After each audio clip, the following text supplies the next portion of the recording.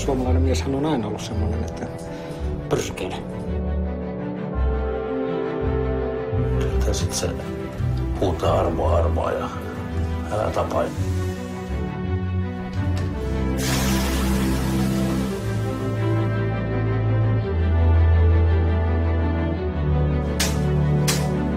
Mä en tahdo olla yksin. Ja yksinäisyys on kaikista kauheinta.